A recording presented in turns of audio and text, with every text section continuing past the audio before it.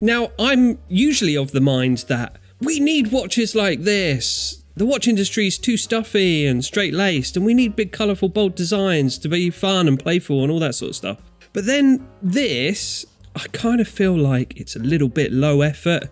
I feel like the designs just seem a little bit clip art. it doesn't strike me as anything other than they saw it on the wall of a creche. I, I don't know. It feels a bit to me like enforced corporate fun, like a team building day. Aren't we Yeah. having fun? No.